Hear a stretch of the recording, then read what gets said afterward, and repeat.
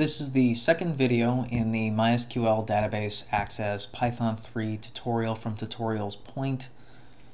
In this video I will show you how to connect to the database and confirm that your connection exists. But first, I'm going to read a boring part, which is I'm going to start from the top here. I'm going to read all the way down to where we start database connection. I'll leave a link in this video so you can go ahead and jump through if you don't want to listen to this.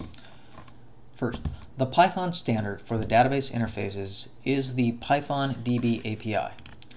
Most Python database interfaces adhere to this standard. You can choose the right database for your application. Python Database API supports a wide range of database servers such as Gadfly, MSQL, MySQL, PostgreSQL, Microsoft SQL Server 2000, Informix, Interbase, Oracle, Sybase, SQLite. Here's the list of available Python database interfaces. Python database interfaces and APIs. Go ahead, click on the link, test it out, make sure it works. Good, it works.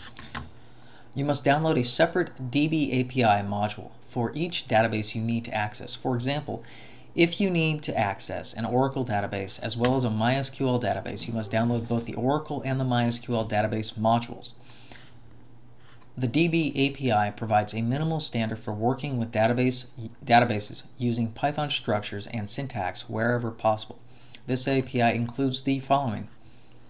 Importing the API module, acquiring a connection with the database, issuing SQL statements and stored procedures, and closing the connection. Python has a built-in support for SQLite. In this section, we will learn all the concepts using MySQL. MySQL DB module, a popular interface with the MySQL, is not compatible with Python 3, which is the current version we're using. Instead, we will use PyMySQL module.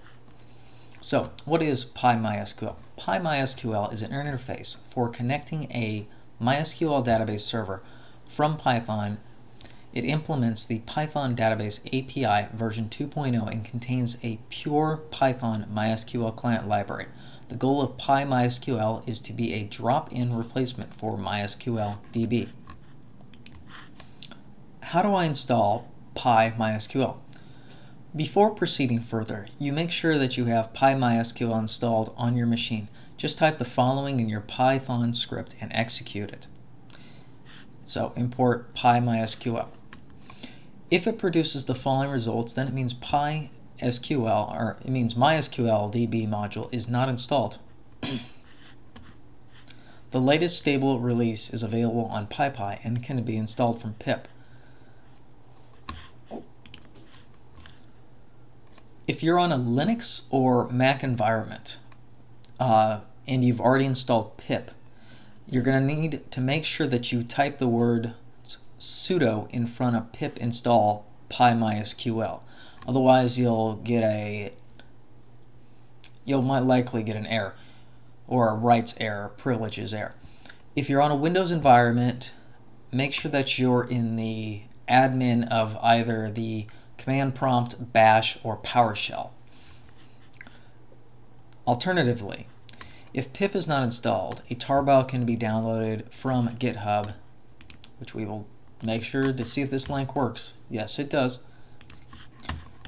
And installed with setup tools as follows. Note, make sure you have root uh, privileges to install the above module. Exactly what I just said. Now, for the database connection.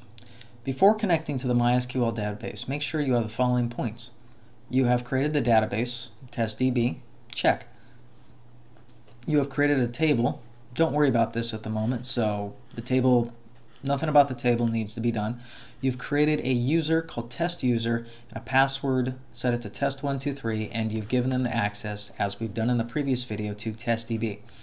You've installed the Python module pymysql which we haven't done, and I'll show you in a second how to do that in the PyCharm environment. And you've gone through the MySQL tutorial on how to use the MySQL basics.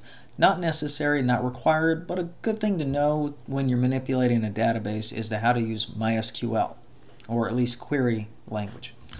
So come on over here.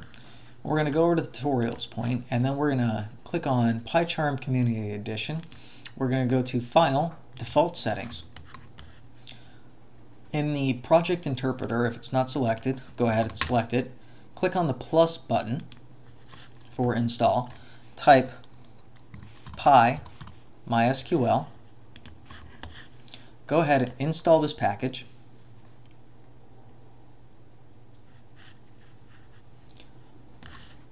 Once it's installed, go ahead and close that out. Notice that PyMySQL has been added. Next, what you're going to want to do, it's not required, but it's a nice thing to do so that it recognizes the uh, modules we've downloaded. Go ahead and restart PyCharm. So I'm going to do that now.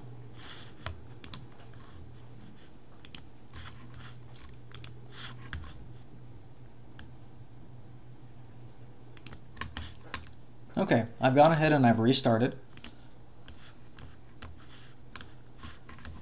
Next what we're going to do is we're going to copy the example that's provided below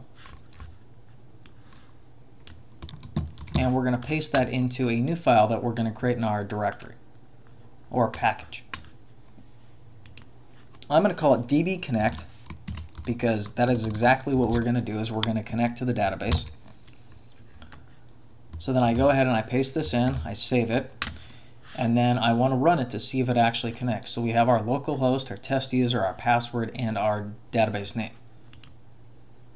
Wait, we got an error. What's the matter?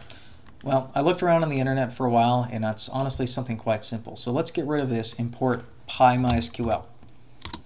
If I press space and I start typing pi, notice that it actually has to be lowercase when you're importing a module or package. So go ahead, and get rid of that, and then replace this with lowercase as well. And then if we rerun it, we get an output saying you've successfully connected to whatever database you're running. I'm at 10.1.21. Go ahead and continue with the next video.